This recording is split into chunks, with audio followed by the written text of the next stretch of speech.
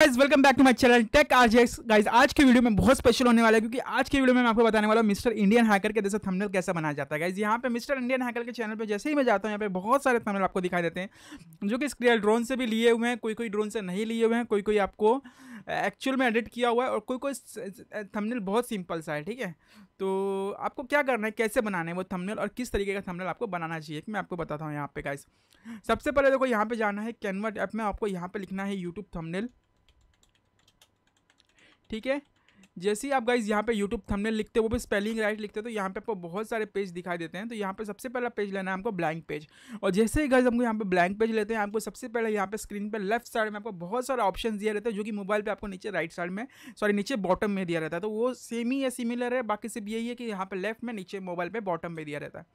तो यहाँ पे जाना है सबसे पहले आपको एलिमेंट्स में और एलिमेंट्स में आपको देखना है कि यहाँ पे क्या है तो यहाँ पे मिस्टर इंडियन हैकर के थंबनेल पे देखूँगा तो यहाँ पे बहुत सारे आपको यहाँ पे देखेंगे तो यहाँ पे रेत दिखाई दे रहे हैं यहाँ पे मट्टी दिखाई दे रहा है यहाँ पे ये चीज़ दिखाई दे रहा है वहाँ पे ये वो वो सब चीज़ दिखाई दे रहा है ठीक है तो यहाँ पे मैं हम लोग एक सिंपल सा थंबनेल में लेके दिखा देता हूँ आपको कि आपको किस तरीके का थंबनेल बनाना चाहिए अगर आपका एक्सपेरिमेंट थंबनेल रहता है तो जैसे कि यहाँ पे मैंने स्काई शॉट ले लिया है मैं आपको यहाँ पे गूगल में जाके दिखा देता हूँ तो यहाँ पे मैं स्काई शॉट या फिर कोई भी वेजिटेबल्स, ऑर्गेनिक, इन बास्केट। जैसे कि मैं यहाँ पे आपको एक एक सैंपल सा ले देता हूँ आपको पूरा दिखाने के लिए। यहाँ पे देखो, यहाँ पे मेरे पास बास्केट में यहाँ पे वेजिटेबल्स हैं, ठीक है? तो मैं इस इमेज को यहाँ से डाउनलोड कर लेता हूँ, ठीक है? यहाँ पे मैं इसको डाउनलोड एवीएफ फ़ाइल है तो एवीएफ फ़ाइल को हम लोग डाउनलोड नहीं कर सकते तो मैं यहाँ पर दूसरा फ़ाइल ले लेता हूँ, ठीक है? ये वाला फ़ाइल ले लेता हूँ। ये वाला जे है तो यहाँ पे इसको मैं डाउनलोड कर लेता हूँ, ठीक है? अब ये वाला इमेज को मैंने डाउनलोड कर लिया, और दूसरा इमेज आएगा, मेरे मेरा बैठा हुआ, ठीक है? मैन सिटिंग इन ग्राउंड ठीक है? मैन सिटिंग इन ग्राउंड अपने को दोनों का इमेज मिलता है। अब यहाँ पे जाना है आपको ब्लैंक पेज पे, ठीक है? तो ब्लैंक पेज पे जैसे ही गाइस जाऊँगा, यहाँ पे सबसे पहला काम करना है हमको, यहाँ पे क्या दिया हुआ है? देखो, मिस्टर इंडियन हैकर पे रेत का दिया हुआ है, ठीक है? तो यहाँ पे मैं क्या लूँगा यहाँ पे सैंड एलिमेंट्स में जाके लिखूँगा सैंड ठीक है? जैसे मैं यहाँ पे सैंड पे जाके लिखूँगा, देखो यहाँ पे बहुत सारे फ़ोटोज़ आपको दिखाई देंगे, ठीक है? तो अपने को क्या करना है, इसको ले लेना है, ठीक है? इसको कर देना है सेट इमेजेस बैकग्राउंड ठीक है? यहाँ पे जैसे ही बैकग्राउंड कर देते हो तो यहाँ पे देखो या तो फिर प्लेन वाला ले लेना है या तो फिर वो वाला ले लेना है। तो आपको प्लेन भी ले सकते हो, ठीक है? और वो भी ले सकते हो। आपके हिसाब से आपको जो अच्छा लगे, वो आप ले सकते हो यहाँ पे, ठीक है? जैसे कि मैं ये वाला लेता हूँ ठीक है, ये प्लेन है। इसको हटा के, इसको हटा के। तो ये प्लेन वाला ले लिया मैंने, ठीक है, यहाँ पे हिसाब से। अब मेरे को क्या करना है, यहाँ पे यहाँ पे प्लेन है तो यहाँ पे मेरे को इससे कि इसको मैं ले लेता हूँ, ये मैच नहीं कर रहा है, ठीक है। तो ये ले लिया मैंने, यहाँ पे, ठीक है। तो इसको मैं क्या करूँगा, सबसे पहला यहाँ पे इसको एलिमेंट्स में थोड़ा ट्रांसफ़र कर दूँगा, ठीक है। या तो फिर मैं इसको ब्लर कर दूँगा। ठीक है? या तो फिर मैं इसको ब्लर कर दूँगा।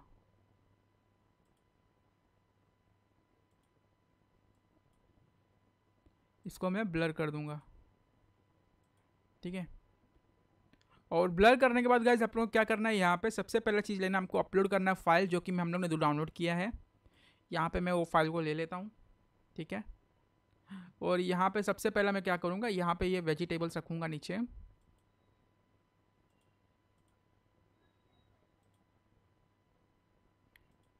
और एक में ये इमेज रखूँगा। ठीक है?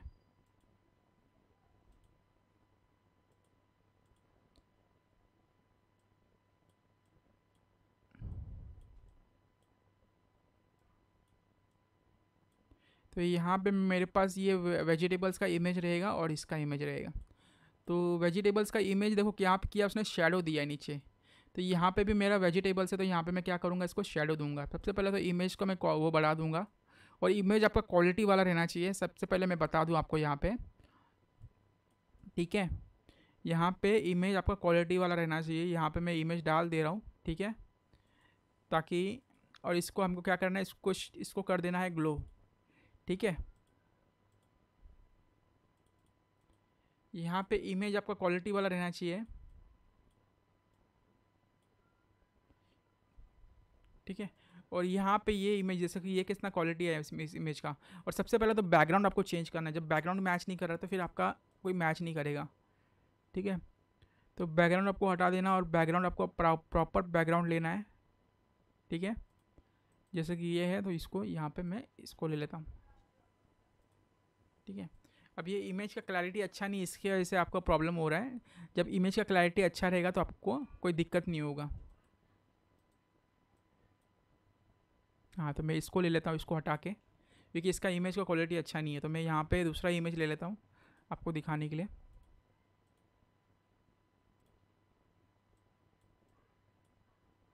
हाँ इसका इमेज का क्वालिटी अच्छा है।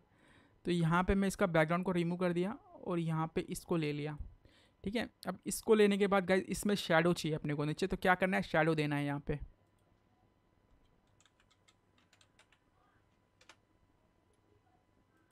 तो शेडो देने के लिए सबसे पहला चीज़ है आपको बास्केट के नीचे शेडो देना पड़ेगा।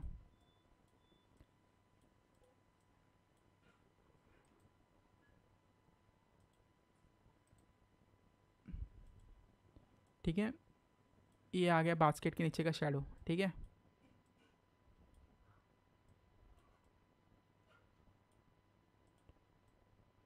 अब इसके नीचे बास्केट के नीचे शेडो आया तो इसके नीचे और एक एलिमेंट्स आएगा, जो कि ये भी बास्केट के नीचे ही रहेगा, ठीक है?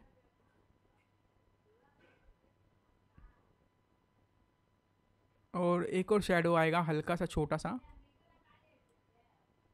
जो कि बास्केट के साइड में रहेगा, ठीक है? और ये क्या करेंगे, हम लोग इसको लेयर को पीछे कर देंगे।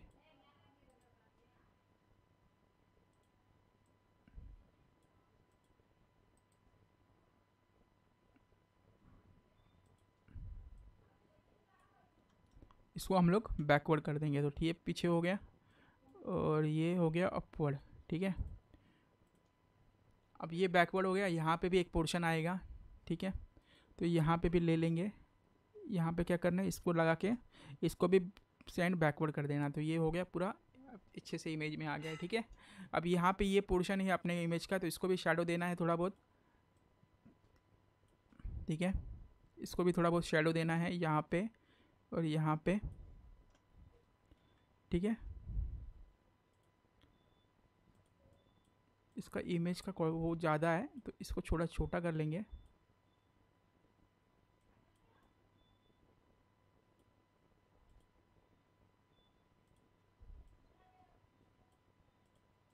ठीक है? तो यहाँ पे इस तरीके से ये इमेज आएगा और यहाँ पे ऊपर क्या आएगा? टेक्स्ट आएगा, वो टेक्स्ट आपको यहाँ से लिखना है।